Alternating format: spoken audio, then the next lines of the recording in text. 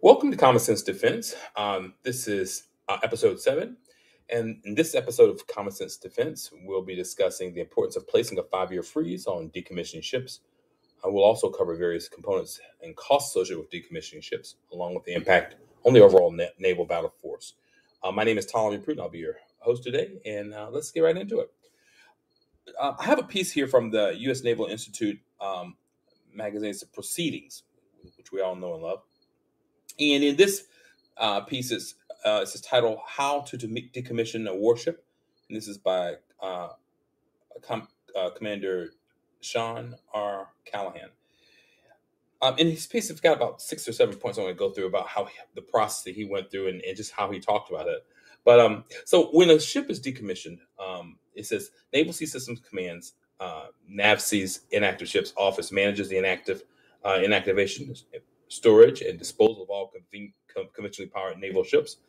Uh, it says um, the second point is that the decommissioning uh, preparations were structured around two maintenance availabilities. The maintenance availability is where um, a ship is getting work done on, it, so it's called an availability, like that there is space available for you to get into uh, a dock, and so that is called a maintenance availability. Um, the first availability focused on the removal of high priority equipment and then the second availability involved depot level work. Um, so he's, he goes on and talks about how there's a there's always a, a decommissioning uh, ceremony, and um, after inspecting each space to ensure uh, compliance with inactivation requirements, the inactive ship's office assumes custody uh, of the ship at that time.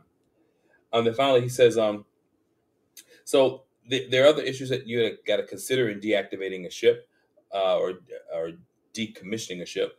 Uh, there's this crew expectations, so there's always um, a period of time that the crew's still on board, and so they um, kind of are working their way out of the the ship as they t- take different pieces out, different parts of um, away from the ship, and then they have a decommissioning date that's set.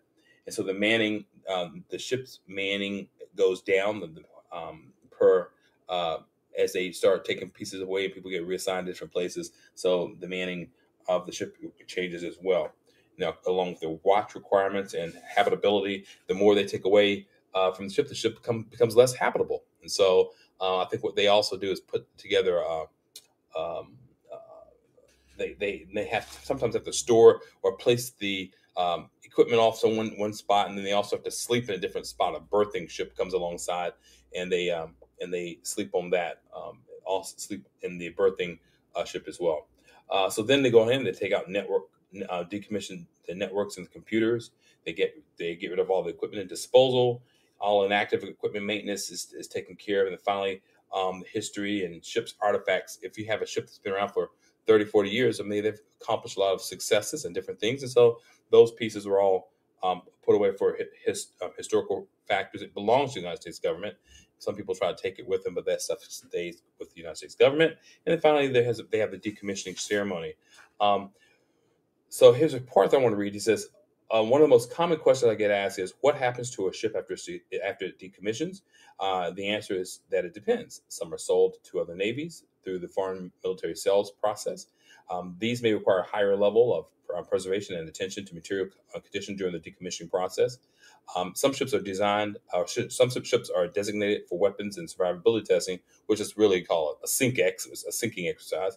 And a small number may be donated as future museum ships to interest, interested organizations.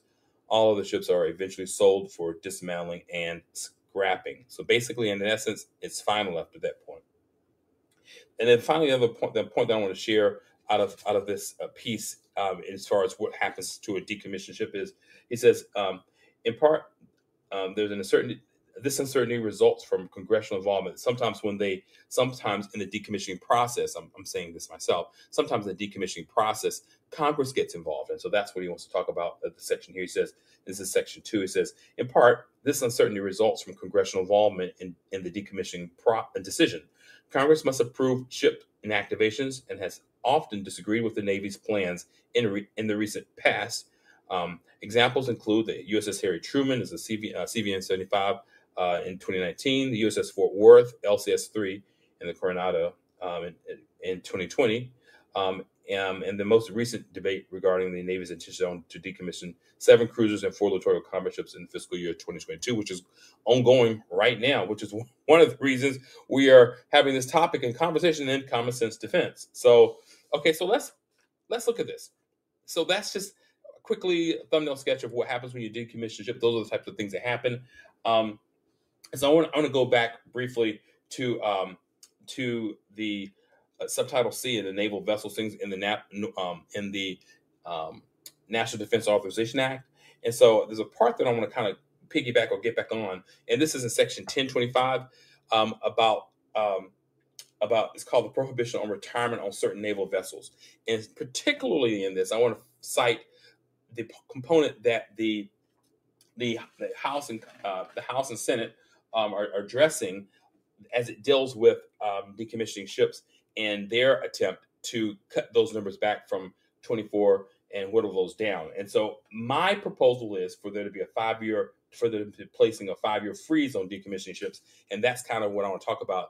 And I'm using the things that the that Congress is already talking about in conference as the foundation to my argument. So it says in, in the last part of this uh, section C, it says the budget request proposed retiring five Ticonderoga class cruisers over the next five years, including one cruiser in fiscal year 2023, which will uh, complete extended modernization periods in fiscal year 2023 or 2024. The committee finds this unacceptable.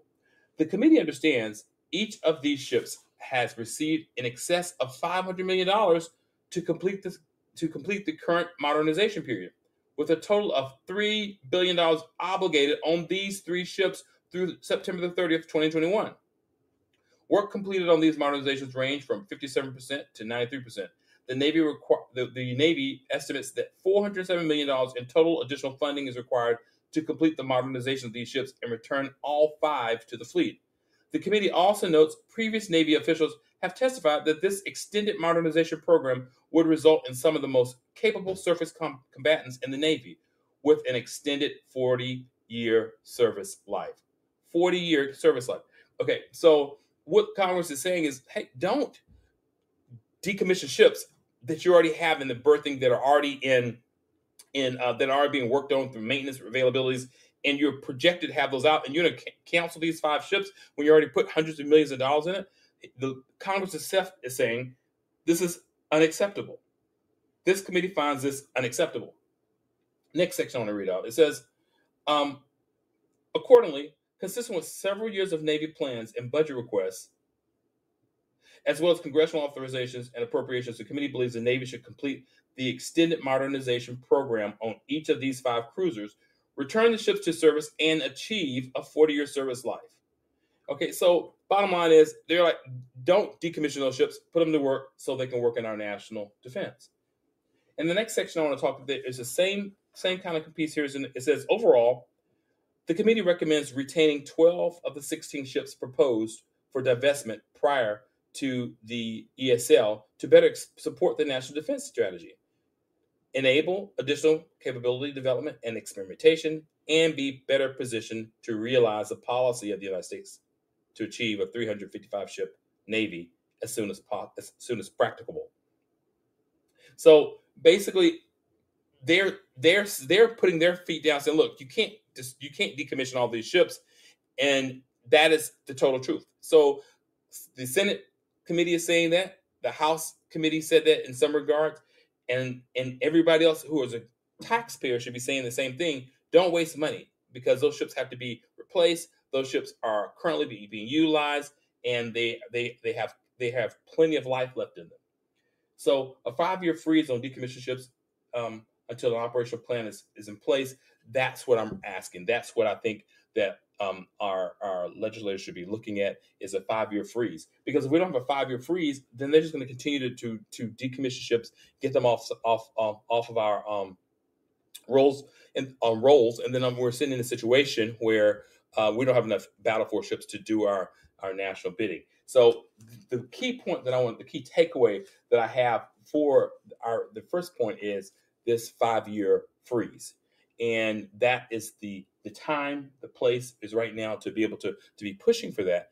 And if we cannot uh, see the importance of that, if if each congressperson can't see the importance of that, then we all have a problem. But clearly, through their statements, they understand the problem. They understand that something has to be done. So I think, therefore, that there's there's plenty of ground here for us to build off of. Um, so I want to make sure that everyone knows that we are um, we're trying our best to, to put together some pieces in place so that we can build our navy, and it's up to um, it's up to each individual a person to see the importance of that from one end of the spectrum to the other, from the the, the designers of, of our, our platforms and the men and women who design our ships, to the men and women who build our ships, to the men and women who serve on our ships. From one spectrum end of the spectrum to the other spectrum, we have to um, we have to uh, all work together to say, you know, there, you know what, there needs to be a freeze on decommissioning these ships. And I think if we can all um, get on the same page, from a national defense strategy perspective and get on the same page. I really believe that um, our Navy and our, our, military will be stronger. So that's um, really kind of what I wanted to talk about um, about the five year freeze, and then we'll have a we have multiple uh, podcasts coming behind this that will go through each one of those points in the uh, build our Navy camp and they build our Navy um, campaign.